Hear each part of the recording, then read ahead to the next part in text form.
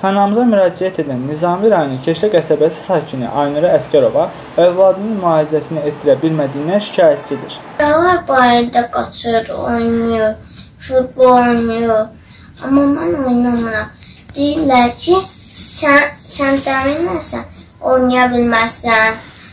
Onda mən də gedirəm e, evə.